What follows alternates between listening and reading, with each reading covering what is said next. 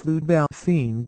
In 2010, the United States Advisory Committee on Immunization Practices ACIP expanded the recommendation for influenza vaccination to include all individuals 6 months of age and older.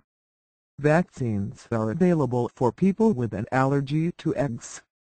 Flu vaccine.